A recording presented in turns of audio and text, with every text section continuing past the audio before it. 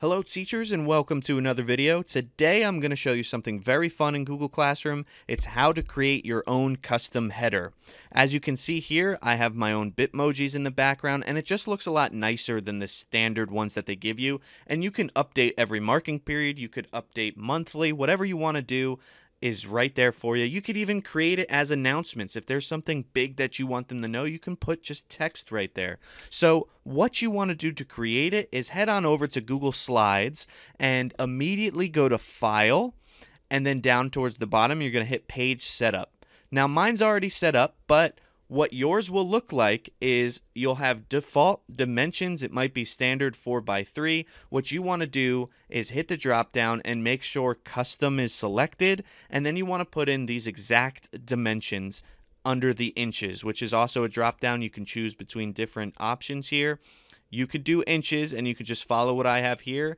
The width is 16.66 and it's by the height, which is 4.16. And then it'll set up your page to look like this, just a big long rectangle. Now, please note that the placement is going to be important of your images because not all of them are going to be shown as much as you'd want them to. As you can see here, all my images here, I have the wash your hands, the pointer finger, the text, the miss you, and the sanitize. If I go back into my header, as you can see, the one that was all the way over to the left is kind of blocked by some text, right? By the class code and the meet link and the title of the class. You're not going to be able to get rid of that. So if you want something to really be seen, it's going to be right in the middle. As you see here, it's right in this middle portion. Now, if I go back into my header, as you can see, you'll also notice that it's much darker right? There's the compare and contrast. Here's the lighter version and the darker. Unfortunately, Google Classroom just does that automatically. I'm not 100% sure why,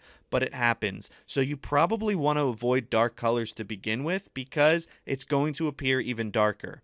Now, also note, depending on what color you make your background, the theme of your entire page, like these icons on the classwork page, see how mine are green and all the buttons here are green it's going to look a little bit different depending on what you put on for your header. So if I chose a different background image than blue here, the entire theme is going to be different. So you're just going to have to play around with it and see what you like best. And I'll actually show you what that looks like as well. So if I head back over into my creation here, I'm going to change the background image. And I'm going to do that by hitting background right there and I'm going to change it and I'll make it a darker blue.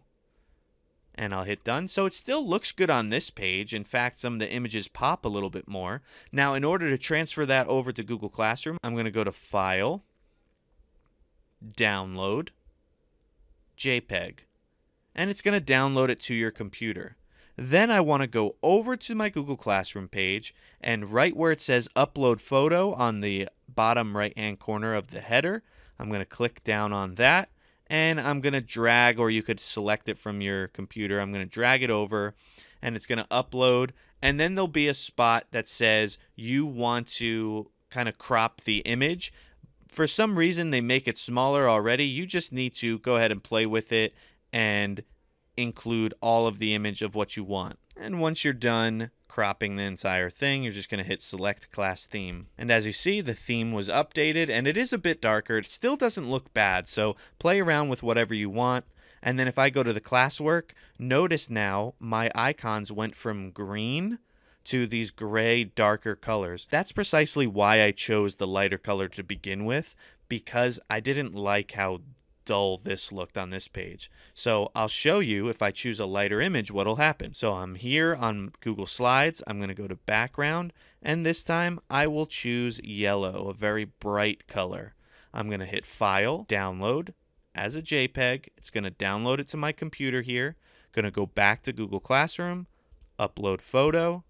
I'm just going to drag it over. I could also just select it from a file and I'm going to crop the image again and it updated it here. Now, I don't particularly like the mustardy color of this because it does make it darker, right? It's much darker. But now let's look at how the icons changed. I'm going to hit classwork. And now these are blue, so I actually prefer that. I like when the icons kind of pop out and it doesn't look like a dystopian fictional setting of a Google Classroom page. So that is how you can create your own custom banner. If you're interested in adding the Bitmojis, all you need to do is go to the Chrome store and you need to download the Bitmoji add-on, which as you can see is right up at the top here, and you could have your own Bitmojis. So if this video was helpful for you, please subscribe to my channel and you'll be notified of any future Google Classroom videos.